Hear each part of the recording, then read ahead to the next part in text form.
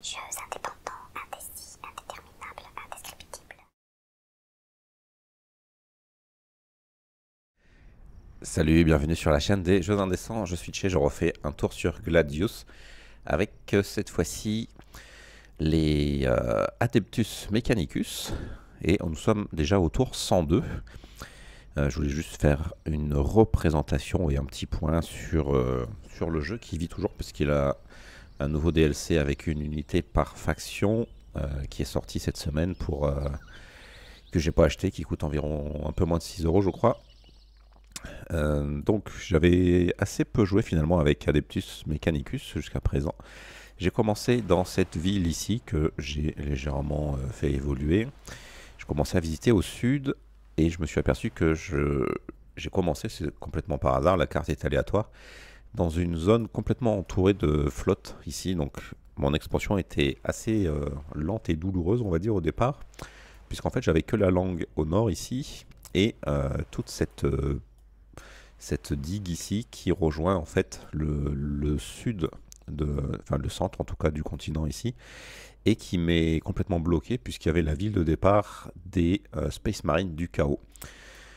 Donc on n'était pas en conflit jusqu'à présent, mais depuis deux tours, le chaos euh, fait une percée puisque maintenant ces unités sont là. J'avais laissé celle-ci depuis, euh, je sais pas, au moins une cinquantaine de tours, la unité de base, juste euh, en, surveillance. Et euh, ben voilà, la surveillance est faite, donc je sais qu'ils sont là. Et en allant donc, je me suis étendu un peu vers le, nord, puis vers l'ouest. J'ai créé une deuxième ville juste ici, euh, parce que le terrain me paraissait trop accidenté pour que je me risque à avancer un peu plus. Donc j'ai fait une ville ici, et euh, juste à côté se trouve l'Astra Militarum, qui semble avoir pas mal de villes, puisqu'il y en a au moins une, et deux, et trois, et je crois qu'il y en a une quatrième ici. Et récemment, là, le tour juste avant, donc tour 101, j'ai eu la mauvaise surprise de constater qu'il y avait le chaos ici avec des unités lourdes avancées.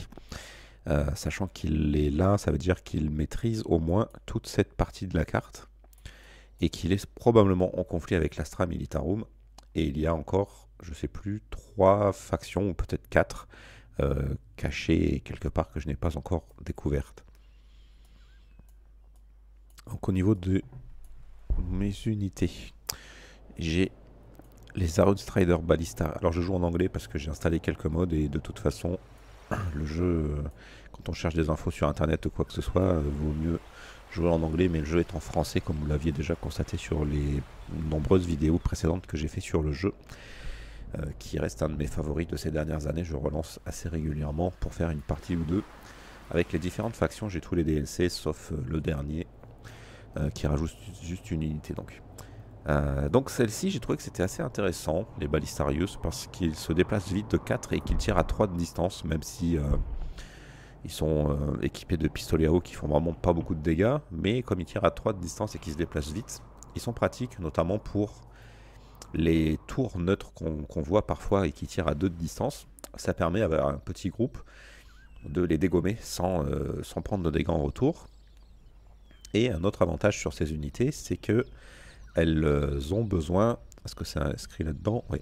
Pour l'upkeep, pour l'entretien, elles ont besoin que de minerais or ici, et non pas de nourriture comme les unités euh, humanoïdes. Comme celle-ci, elles ont besoin upkeep de nourriture. Ce qui fait que euh, on peut créer celle-ci sans entrer en conflit avec l'entretien des autres unités. Donc c'est vraiment, à mon avis, intéressant. Par contre, c'est fragile et ça fait pas trop mal, mais ça reste une unité intéressante, en tout cas en début de jeu. Et, j'en ai donc fait plusieurs. Ensuite, les unités de base, les euh, Skitari Vanguard. C'est juste une unité euh, d'infanterie vraiment basique, mais qui a une aura qui euh, irradie les unités euh, physiques humanoïdes infanterie à proximité qui leur fait des dégâts passivement si ils sont juste à côté. Donc là, je sais pas trop comment gérer mon sud. Je pense que je vais faire demi-tour et je vais les laisser s'attaquer entre eux. Mais je suis pris en sandwich avec lui.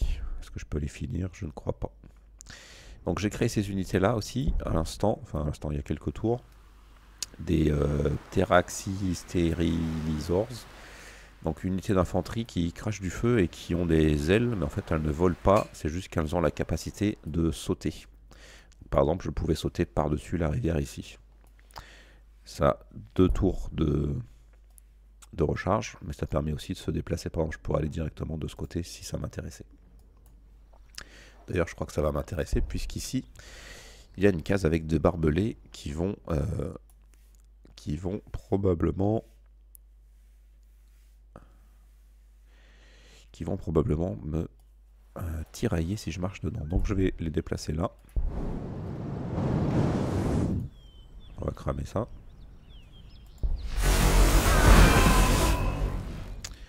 Ça marche bien puisque ça les a éliminés en un seul coup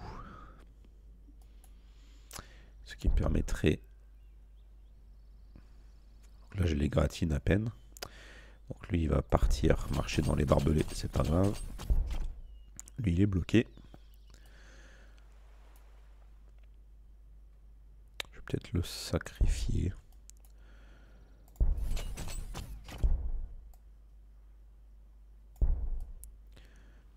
On va retourner avec la ligne.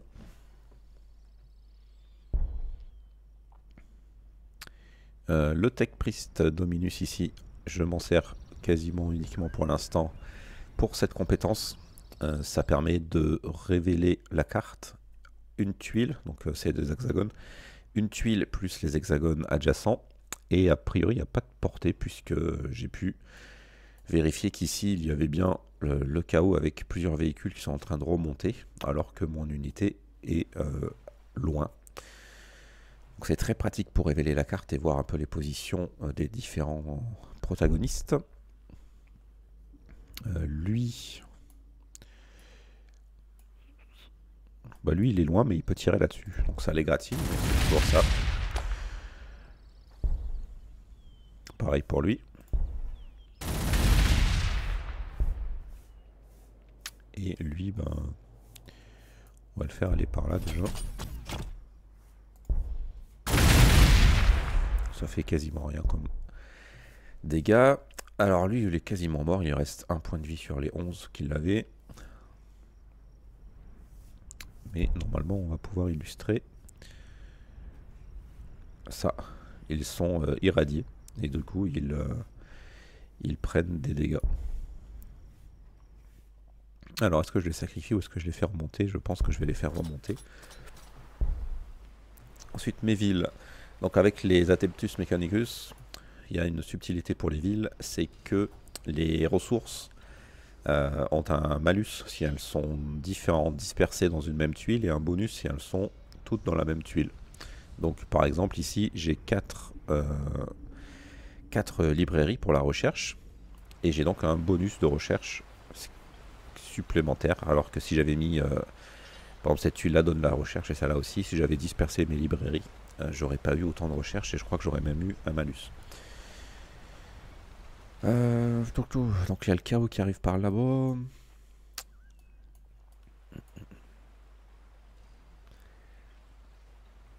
En la recherche, je suis au tiers 7 euh, ou 8 bientôt, je crois. Donc je suis en train de rechercher le Scorpius des intégrateurs. A priori, c'est l'une des meilleures unités blindées de la faction. Jamais vraiment fait mes avec. Et euh, donc j'avais aussi des Zonac que je connaissais pas a priori. En fait, c'est marqué que ce sont des unités anti-aériennes, mais qui semblent efficaces euh, pour tout. Donc je les, ai passés, je les ai recherchés que très récemment. Et euh, je me suis un peu renseigné sur la faction avant de poursuivre. J'en étais autour de 90 et je commençais à galérer pour m'étendre correctement à cause de eux là. Et j'ai vu que l'Onagre était en fait intéressant même pour les unités terrestres. Donc je tente la chose et euh, je crée ici des infiltrators. Mais encore deux tours pour un. Et là j'essaie de gérer un peu mon économie. Je sais pas si je fais un non ou si je garde les ressources pour plus tard. en fait mon idée c'était de laisser cette ville un peu en l'abandon entre guillemets et de ici créer une usine de véhicules de manière à avoir les véhicules qui arrivent plus vite pour taper les, l'Astra Militarum pour l'instant, on va passer ça et ça.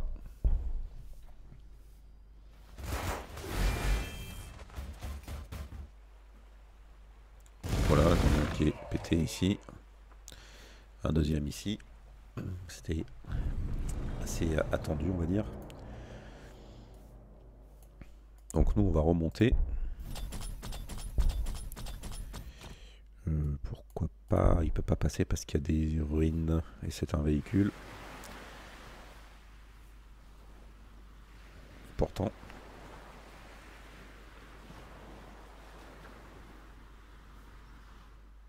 On sait pas ce que c'est les barbelés.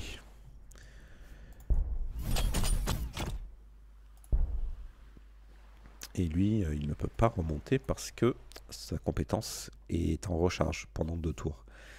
J'ai envie de capturer ce truc là, je sais pas ce que c'est en fait.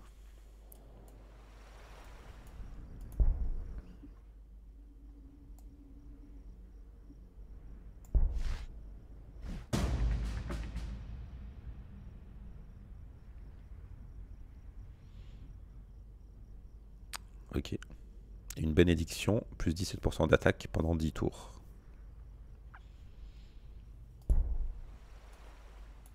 Lui il est bloqué mais il peut tirer à 3 cases donc on va pouvoir égratiner un peu celui-ci.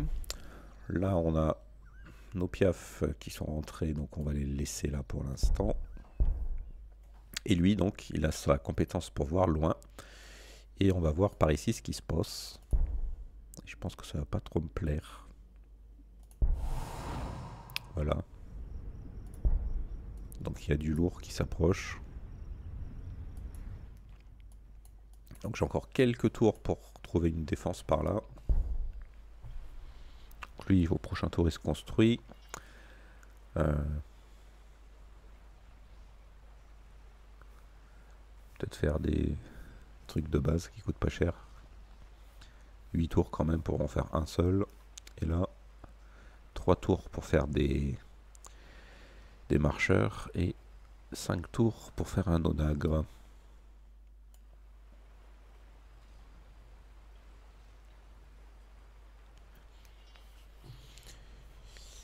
Et, j'ai un problème de population parce que je suis à 13 sur 19, il m'en faut 15. J'ai pas assez de croissance.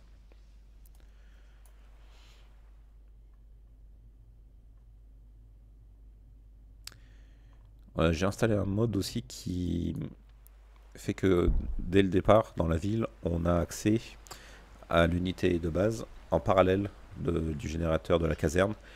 Ce qui fait que les unités de base, donc c'est différent pour chaque faction, mais en l'occurrence pour eux c'est les Skitari Vanguard. Euh, je peux en faire deux euh, simultanément. Et ça ça compte pas pour le la file d'attente. Donc ça c'est pas mal. Et une autre chose, c'est que le il y a un supplément, j'ai mis un mode pour que chaque unité du même type coûte 30% plus cher. Et euh, j'ai ralenti également la construction des unités de base de 30%. Euh, Donc tout est plus lent et ce qu'on recherche et ce qu'on construit euh, est moins rapidement obsolète, tout en ayant plus de, place pour les unités des premiers tiers, puisqu'elles se construisent plus vite et en masse. Par contre, les unités avancées, les élites et les héros coûtent très rapidement très cher. Donc ça évite le, spam qu'on voit souvent en fin de partie où il y a quasiment que des unités euh, d'élite plus ou moins. Donc là on va laisser faire, je suis en train de faire l'usine de véhicules justement et ensuite la population. Mais euh, ça va prendre au moins 9 tours plus le véhicule, ce qui fait que quand tout sera fini je pourrais faire le Scorpius directement ici. Mais c'est pas tout de suite. Et là, je crois que j'ai pas vraiment le choix, je vais faire un onagre.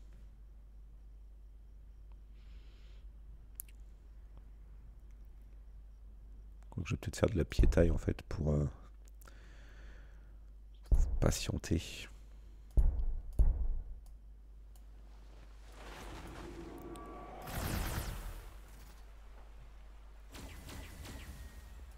Ah, ça y est, c'est canard ici aussi.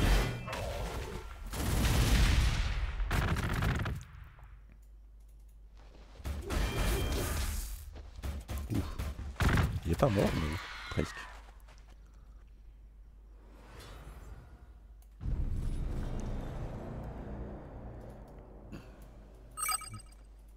Alors. Donc lui, il va mourir, je peux rien faire avec. Quoique je peux peut-être l'éloigner ici.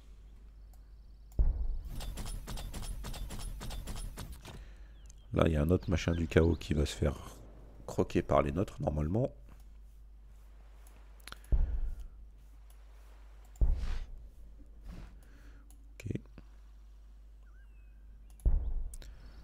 En fait, c'est une forêt qui est brûlée, donc on voit pas bien les branches, mais on a bien le bonus de forêt, donc on est caché en fait. Je peux lui tirer dessus encore. Ici, est-ce qu'il y a eu du bobo? Presque rien, un petit peu.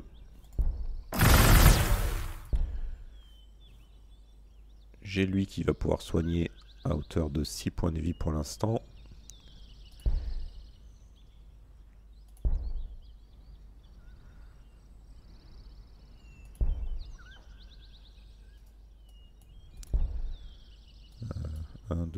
Pourquoi il peut pas? Parce qu'il est dans la forêt.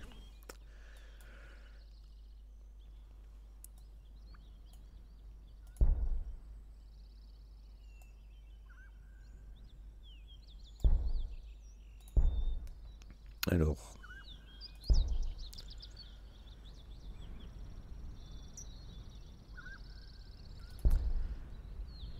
En fait, j'ai rameuté euh, les tech priest, les héros et tout ça ici un par un, juste pour les tester. J'ai pas vraiment d'unité typiquement faite pour la bataille. Et je les connais pas bien. Donc lui c'est le créateur de villes en fait. Datasmith c'est avec lui qu'on peut faire des villes, mais c'est aussi un petit soigneur. Et je l'ai emmené au cas où il y avait un, robot que j'ai pas croisé sur cette carte encore. Parce que cette faction avec cette unité peut capturer les robots neutres et du coup les emmener euh, en tant qu'alliés, ce qui est pas mal, c'est gratuit ou presque. Et lui, je suis obligé de l'avoir au corps à corps, puisque il est dans les arbres.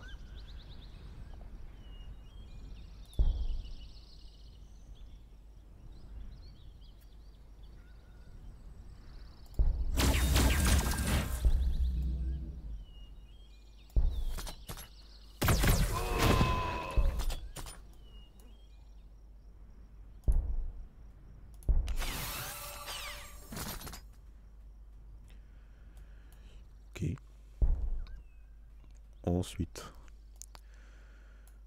lui, on va l'avancer pour visiter. Je connais pas cette unité, je l'aime pas tellement. Espèce de cavalier sur des chiens mécaniques. J'aime pas, pas le visuel. Par contre, j'aime bien le visuel de la faction en général. Je le trouve très chouette.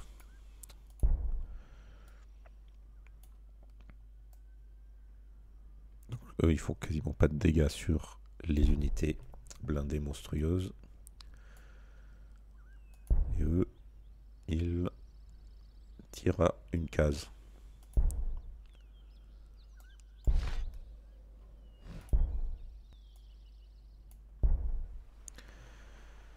Donc là, j'ai mon infiltrateur. On va les laisser par là.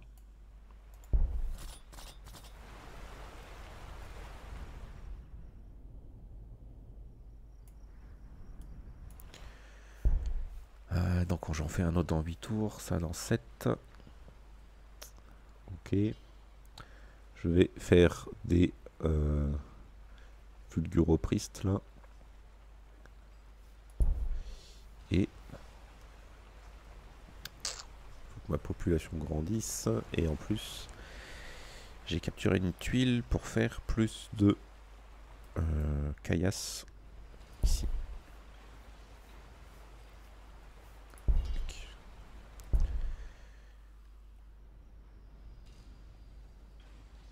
là, j'ai plus assez de nourriture. Si je le crée, je serais en déficit de bouffe de 0,5. Mais cette ville-là est dédiée à la nourriture, parce qu'en fait, ici, quasiment toutes les zones ont un malus en nourriture, moins 20%, moins 10%. Et là, je m'étais installé parce qu'il y avait deux zones à plus 10% et plus 20 ici. Donc ici, je produis essentiellement de l'électricité et de la nourriture, alors qu'ici, je produis essentiellement de la caillasse.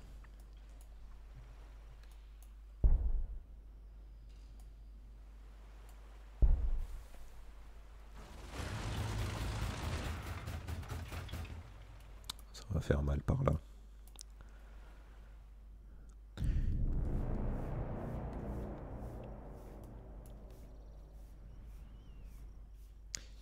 Voilà, je voulais juste faire un, point et, reparler du jeu. Et on va s'arrêter ici. En tout cas la vidéo, mais pas la partie. A bientôt, merci d'avoir regardé ça.